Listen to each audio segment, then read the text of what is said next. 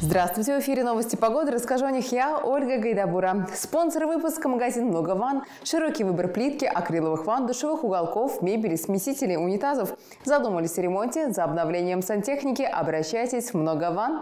Дорогая, я нашел магазин «Много ванн». Какие здесь ванны, какая плитка, красота!